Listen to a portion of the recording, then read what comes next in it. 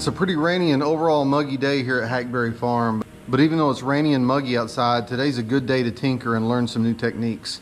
And what I'm working on today are hummingbirds. Over the past couple of weeks, the number of hummingbirds that have shown up on the place have really increased quite a bit. At any given time, you'll see six or eight hummingbirds out here at my feeders trying to get a sip of nectar uh, as they go on with their daily lives. And they're a real fascinating bird to watch. If you've never watched hummingbirds, it's amazing how they fly. It's amazing how they maneuver. They're not the kindest things in the world. In fact, they're mean to each other. They're real ter territorial, and so they fight each other all the time. And even though you wouldn't think that overcast days would be a good day to photograph something like hummingbirds, this is really the best day because it gives me a couple of options on how to set up my pictures. But first, let me show you my setup. I've actually got two hummingbird feeders out here, and I've got them strategically placed. You know, I love backgrounds. And so one of the things I think about when I'm putting out these hummingbird feeders is how far can I get the background away from the feeder. That way I get that real soft, creamy, out of focus background. And so I've got two feeders set up. I've got one out here that'll work in the sun when the sun's out to give me some good outdoor light. And I've got one that hangs underneath the awning behind me. And so uh, when it's under the awning, that way they're always in the shade. So for this first feeder, you can see I've got this limb attached to the feeder. They like to land on top of that and uh, and a light on it, and that way I can get a good shot, natural shot of them sitting on something like a limb uh, before they come in to feed. Now, I can add a piece of greenery to that or anything else to kind of liven it up a little bit, and often I will do that, but for now, it's just a good place for them to perch before they go down to feed. So for my other feeder, I have it under the awning here. And the reason for that is when the hummingbirds feed from it, they'll be in the shade. And you may be wondering, why would you want them in the shade if you're trying to photograph wildlife and outdoors? And the reason for that is even though the background may be illuminated by the sun, if the bird if the birds are in the shade, I can add light to it and be able to balance the light. And by using an artificial light source like a flash, I can burst those flash quick durations and that'll add more stop motion to the wings. Now it really is a, depends on what you like. Me, I'm not a great fan of using flash in wildlife photography. I don't mind if the wings are blurred a little bit because when we're looking at the birds, we can't see their wings flapping anyway. They're blurred. So I think the blurred wings look is a little more natural of a look.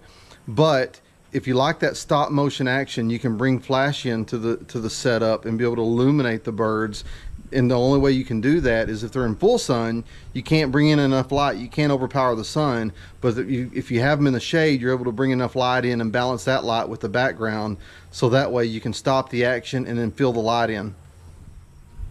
And so let me show you my camera setup. What I have here and this looks kind of exotic but it's really not. I've just been collecting flashes over the few years past several years and I've got this a three flash setup. This is a bracket I found online that'll hold multiple flashes and so by hooking this bracket to a light stand or you can use a tripod or whatever I can put three flashes on this and since Canon along with Nikon and every other uh, camera manufacturer has wireless flash systems, I can set these three flashes up wirelessly. I don't have to do any kind of special settings. I just let the camera decide how much flash it needs. But the key thing is having more than one flash. And so what you're looking for is a lot of power. If I use one flash, it'll get a little bit of power, but probably not enough. It's gonna have to blast a lot of light out there to be able to, to uh, to get correct exposure on the bird when it's a few feet away. But if I use three flashes, the flash duration can be quicker. And because that flash duration is quicker, I'm able to stop and freeze the action a lot better.